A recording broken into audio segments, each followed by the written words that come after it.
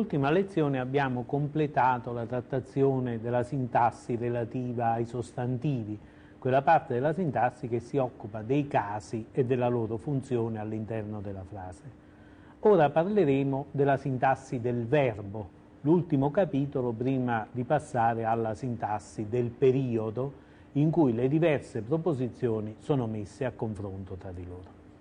La funzione del verbo è una funzione centrale all'interno della frase perché intorno al verbo viene costruita la frase stessa con l'indicazione di un soggetto e poi di tutti quanti i complementi che costituiscono il resto di questa sorta di menu che intorno al verbo viene inquadrata come se il verbo ne fosse l'ingrediente principale. Il verbo nelle lingue derivate dal latino e ovviamente nel latino stesso ha come sue caratteristiche il tempo e il modo. Dunque viene organizzato secondo un sistema di tempi e un sistema di modi i cui rapporti danno vita a quella serie di connessioni che sono la sintassi. Per quanto riguarda i tempi, i tempi latini indicano, lo si è detto molto spesso, più un modo di essere dell'azione, un suo essere contemporanea, precedente o successiva rispetto a un'altra, che una effettiva collocazione all'interno del tempo medesimo, nel passato, nel presente o nel futuro. I tempi hanno anche un'altra funzione, quella di indicare se l'azione è stata svolta in un attimo oppure è stata svolta con una certa durata, per cui a volte alcuni tempi indicano la durata nel passato e altri invece la puntualità all'interno di quel passato e così via. I modi invece indicano il rapporto logico fra i, versi, tra i verbi stessi, cioè se ci si trova dinanzi a verbi che rappresentano l'azione principale che coordina tutte le altre indicate nelle diverse proposizioni che seguono, ovvero ci si trovi in una proposizione che ha una funzione secondaria e comunque non così nettamente e dichiaratamente affermativa come nella proposizione principale. Salteremo la parte sui tempi che leggerete nel volume, limitandoci a ricordare che anche in latino come in italiano non sempre l'uso di un tempo è uniforme. Ci sono dei tempi che possono avere delle sfumature, dei significati differenti in usi differenti. Come in italiano abbiamo un presente che può valere per il passato, il cosiddetto presente storico. Cesare va a Roma, trova che essa è stata abbandonata da Pompeo e decide, eccetera, eccetera. In questa narrazione io ho messo al presente, anche se so che tutto questo è successo più di duemila anni fa, dunque è un'azione del passato, ma ho voluto usare un presente che attualizzi in qualche modo la vicenda. È un presente storico. Allo stesso modo, per il passato è possibile avere due tipi di passato. Un passato la cui azione sul presente è decisamente remota e non avvertita come particolarmente funzionante e un passato invece che è ancora carico di conseguenze sulla vita quotidiana. L'italiano per questo ha, o forse dire, bisogna dire aveva, perché eh, ci si sta avviando alla perdita di uno di questi due tempi, un passato remoto e un passato prossimo. Io ho lodato, io lodai. Nell'italiano corrente il passato remoto ormai si comincia a perdere e l'uso del passato prossimo prevarica rispetto al passato remoto. Il latino ha un unico tempo perfetto che però può assolvere entrambi i compiti. Può essere un perfetto storico che corrisponde alla funzione del passato remoto italiano e un perfetto logico cioè il nostro passato prossimo nel suo uso di un passato che però è ancora fortemente presente nelle sue conseguenze. Questo e non più di questo vi posso dire durante la lezione di oggi sui tempi, per il resto vi rinvio al libro. Cercheremo invece di dire qualcosa di più a proposito dei modi, ricordandovi che il latino dispone soltanto di tre modi finiti a differenza dei nostri quattro, perché oltre l'indicativo, il congiuntivo e l'imperativo, che sono presenti tanto in latino quanto in italiano, l'italiano ha il condizionale che il latino non ha. Vediamo adesso il primo dei modi, l'indicativo. L'indicativo è il modo più forte, il modo che nelle intenzioni dello scrittore indica qualcosa di assolutamente reale che non dipende dal nostro modo di vedere le cose, da una nostra soggettività o da una serie di vicende che sono superordinate a quella indicata dall'indicativo stesso. L'indicativo è il modo che si usa quando si constata che esiste un certo fatto. Però, siccome l'italiano ha un modo in più, questo condizionale, può capitare alcune volte che l'indicativo latino corrisponda a forme che noi in italiano rendiamo meglio o soltanto con il condizionale. Vediamo alcuni esempi di costrutti che in latino hanno l'indicativo e che in italiano possono non volere l'indicativo o non volere solo l'indicativo. Nella schermata trovate possum multa dicere de tribunatu militari sed mi ante oculos versatur rei publice dignitas. Letteralmente io posso dire molte cose sulla eh, carica di tribuno dei soldati, tribunatus militaris, ma ho dinanzi agli occhi, mi si presenta dinanzi agli occhi la dignità dello Stato. Ora, io posso dire molte cose, eh, è una constatazione del fatto che ci sono molte cose che si possono dire, ma l'italiano, dal momento che non dice quelle cose l'autore, dal momento che vuole parlare di un'altra cosa, traduce con potrei dire molte cose. Io a questo punto potrei dire ma dico queste altre. Quindi è uno dei casi in cui a un indicativo latino corrisponde piuttosto un condizionale nell'uso dell'italiano. E analogamente nell'altro esempio, che è un esempio di Cornelio Nepote, longum est omnia enumerare prelia annibalis, letteralmente è lungo enunzia, eh, elencare tutte le battaglie di Annibale, ma nella nostra traduzione sarebbe lungo, sarebbe cosa troppo lunga fare un elenco di tutte le battaglie di Annibale e perciò non faccio questo elenco. Abbiamo due casi in cui nella traduzione italiana è preferibile l'uso del condizionale rispetto alla presenza dell'indicativo che abbiamo trovato in latino il caso del verbo possum e il caso di un aggettivo neutro con il verbo sum. Longum est sarebbe cosa lunga, sarebbe cosa troppo lunga. Vediamo un altro caso in cui ancora di più è evidente la necessità di usare una forma diversa in italiano rispetto a quella che troviamo in latino. È l'ultimo esempio della schermata.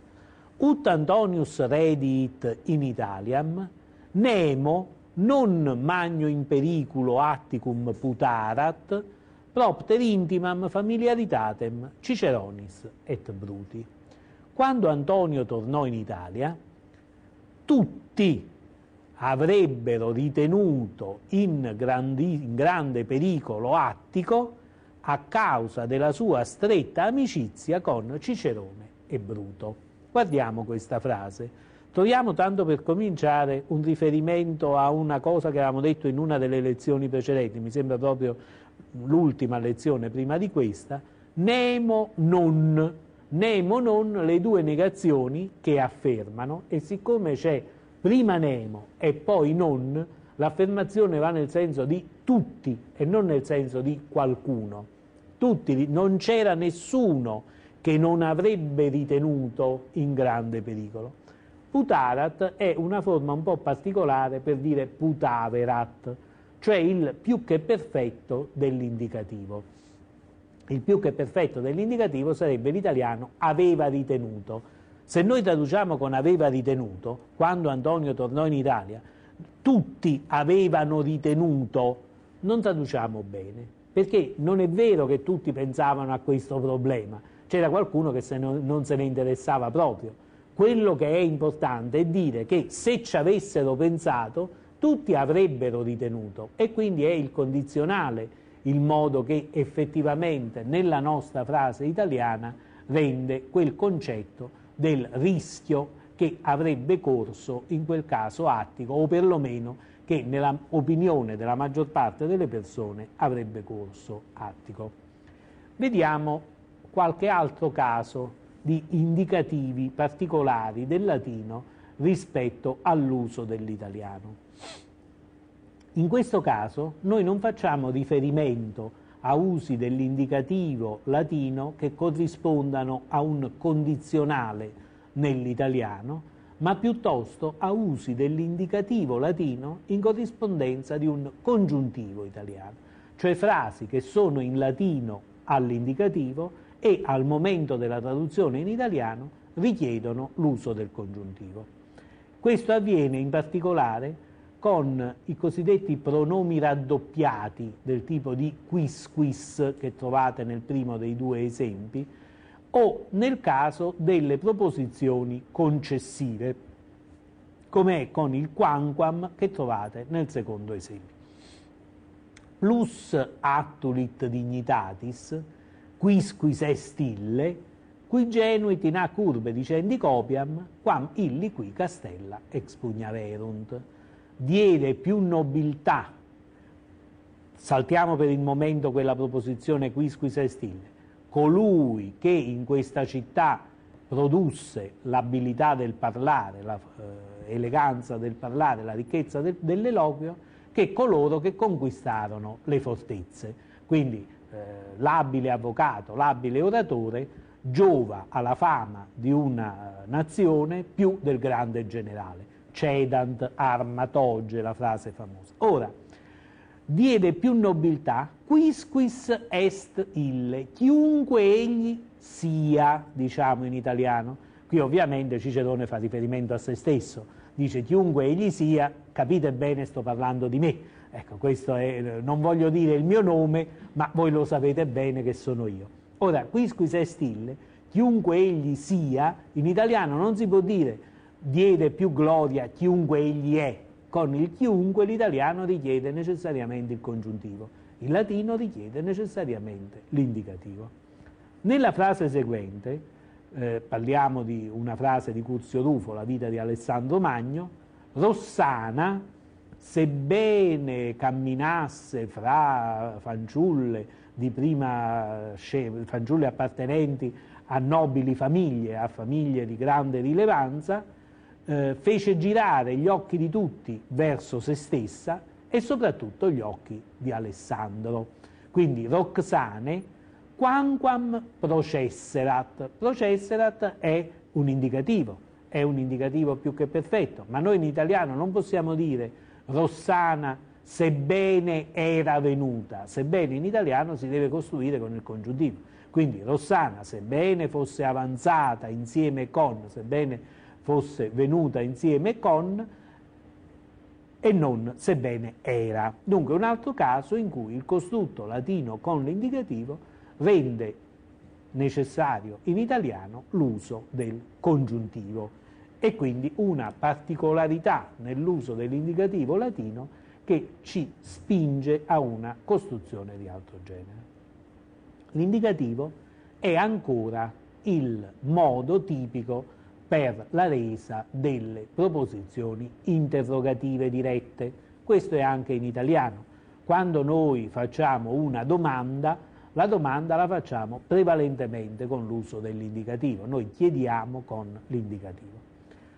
L'interrogazione che viene fatta all'indicativo in latino viene però presentata in latino con dei segnali dei segnali che l'italiano non ritiene necessari.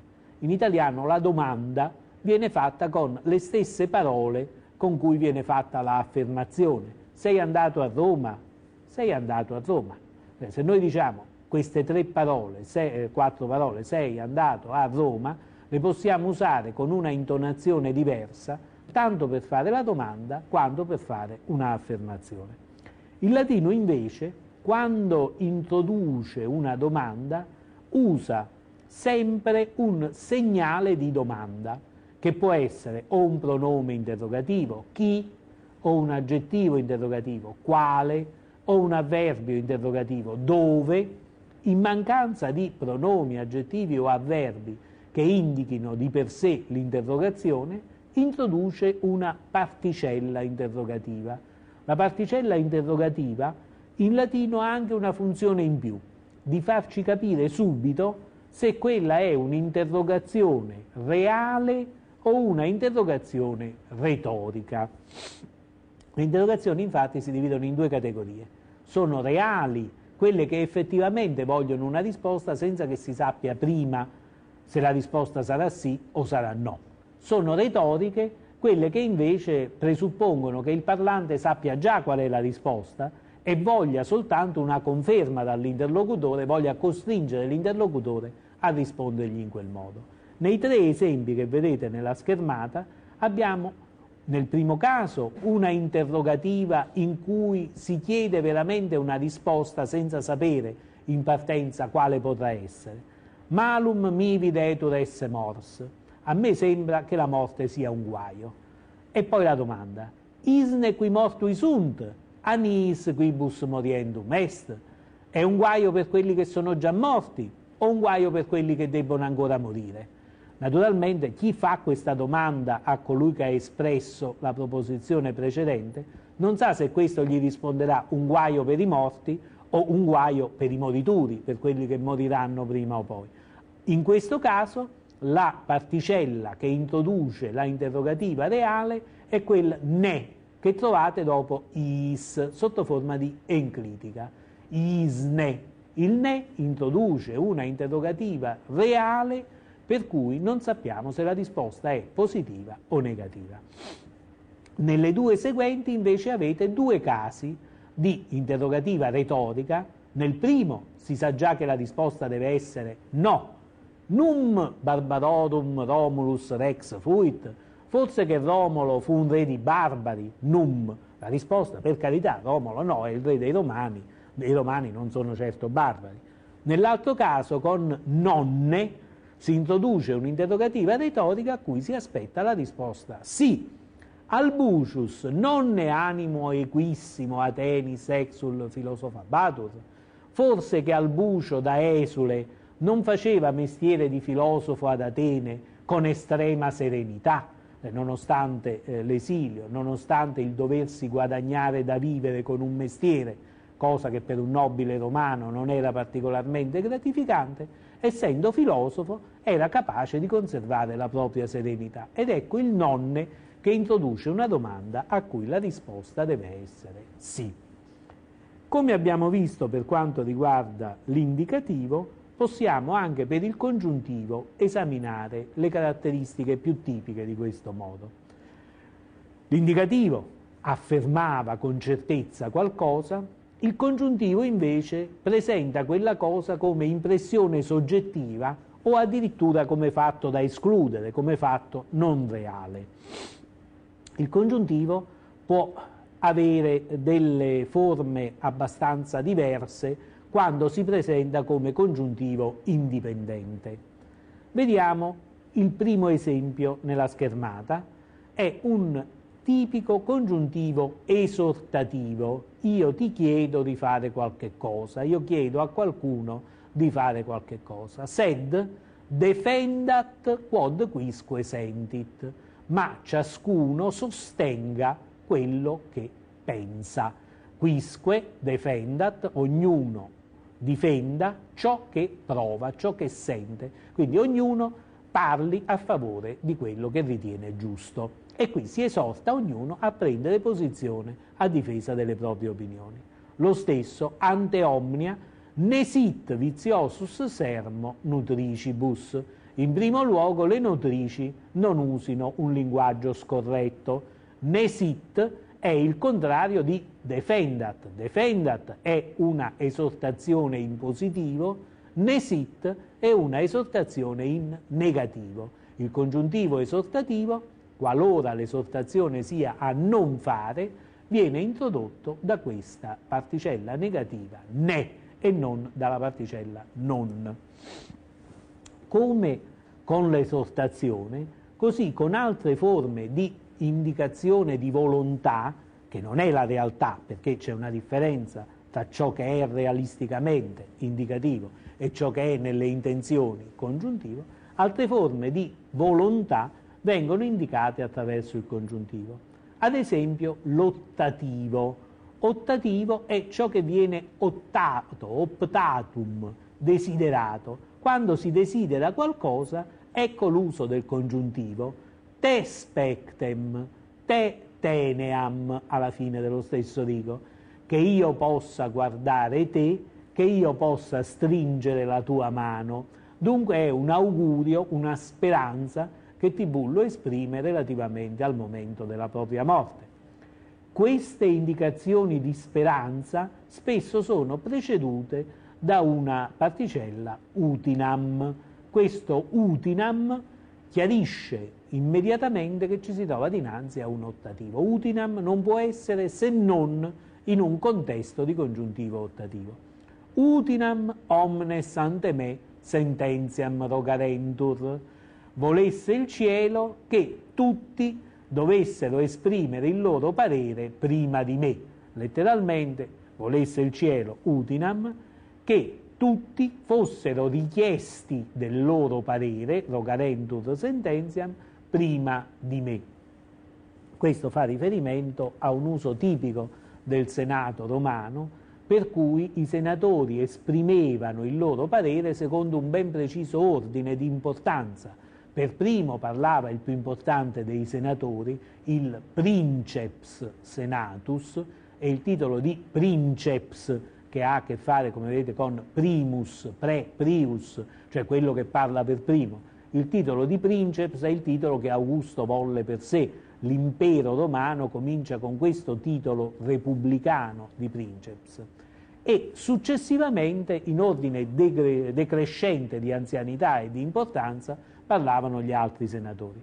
Qui Cicerone spera di non essere tra i primi a dire eh, il proprio parere perché si tratta di una decisione importante in cui non vorrebbe essere costretto a condizionare la scelta del Senato stesso. Se gli altri parlano prima lui si sente più sereno.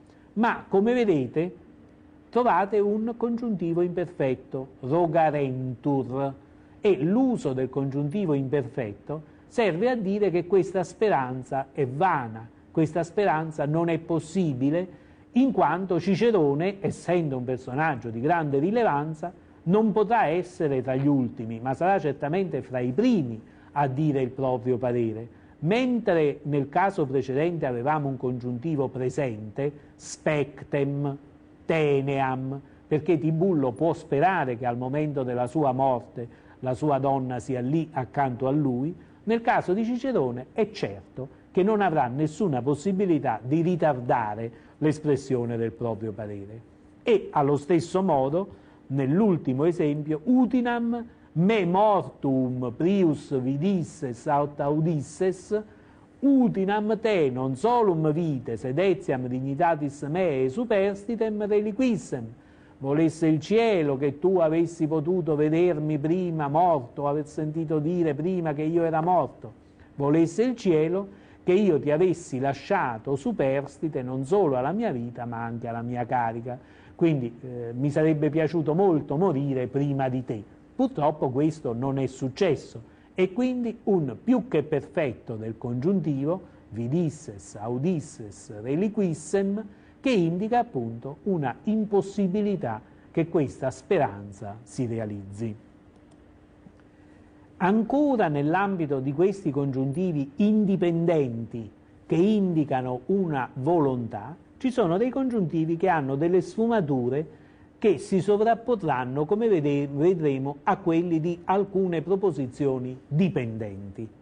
Il primo esempio che vediamo è quello del congiuntivo concessivo sit per se ipse sanus, quod numquam merit, per os esse eitamen non licebit.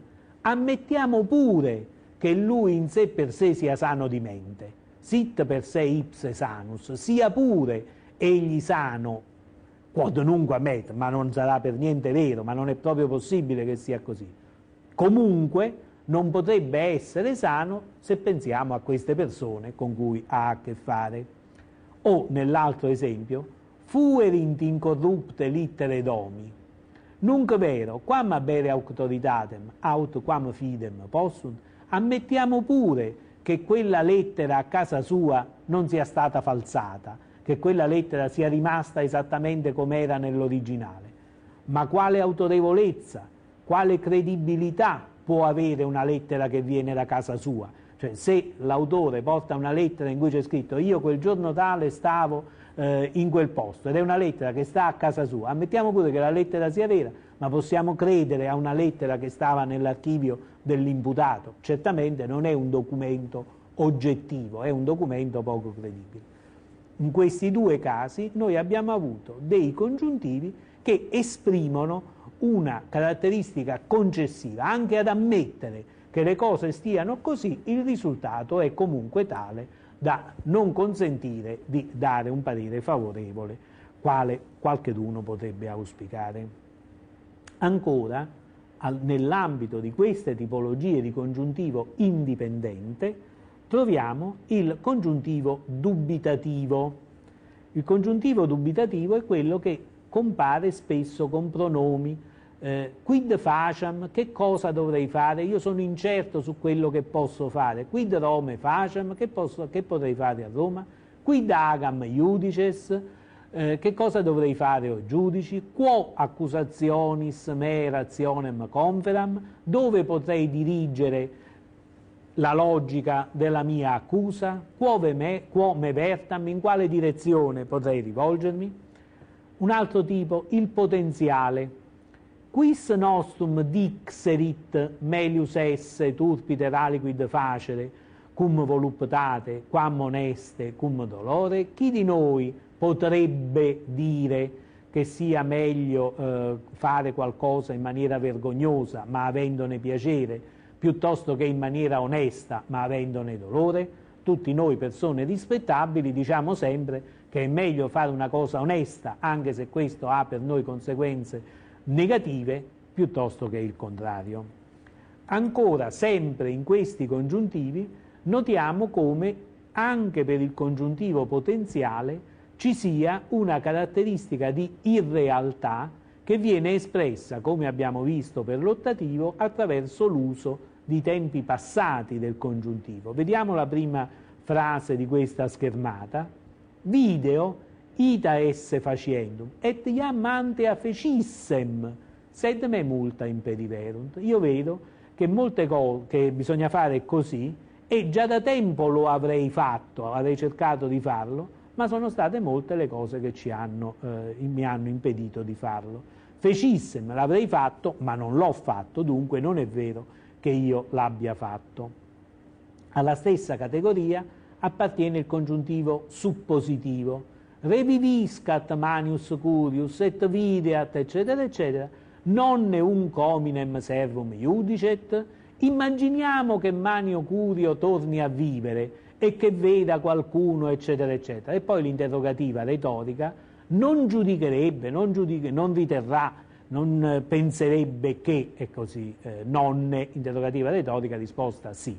Reviviscat è la supposizione, una supposizione che viene in questo caso immaginata come possibile, nell'altro caso invece è impossibile. Dedisses uic animo par corpus, fecisset quod optabat. Se tu avessi dato a costui un corpo pari al suo coraggio, avrebbe fatto quello che riteneva opportuno, quello che desiderava ma quel corpo non ce l'aveva, dunque era impossibile che questo tipo di azione si svolgesse. Abbiamo così completato il quadro del congiuntivo indipendente e veniamo all'ultimo dei modi finiti, l'imperativo. Per l'imperativo in latino dobbiamo distinguere il significato e l'uso dell'imperativo presente da quello che è l'imperativo futuro e soprattutto valutare i vari modi con cui viene presentata la negazione dell'imperativo, il comando di non fare e non il comando di fare. Vediamo nella schermata.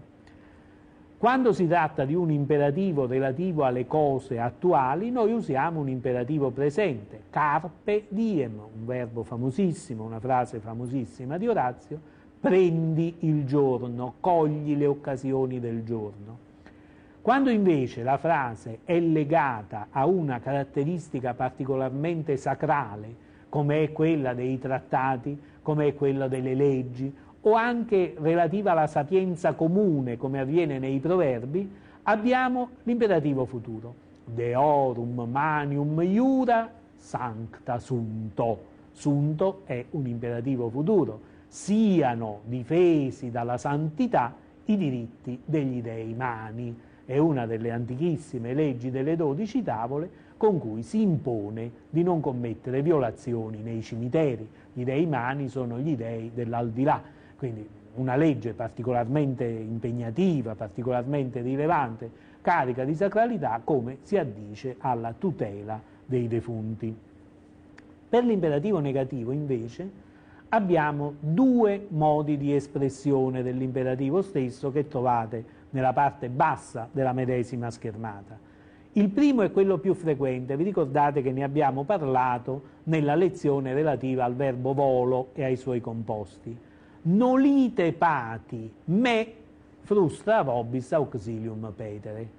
Non accettate, non ammettete, non sopportate che io invano vi chieda aiuto, io il nipote di Masinissa invano vi chieda aiuto nolite pati è la negazione del verbo pazior, quindi non accettate. Nell'altro caso invece, anziché nolo più l'infinito, avete ne e il congiuntivo. Ne terreat vos vanus ad spectus et tauri fulgorat que argenti. Non vi atterrisca questa vana immagine. Ne terreat è l'altro modo per esprimere l'imperativo negativo. È una forma di congiuntivo esortativo preceduto dal ne. Vi ricordate quella frase che abbiamo esaminato poco fa a proposito del discorso che deve avere la nutrice. La nutrice non abbia un discorso scorretto, una lingua scorretta.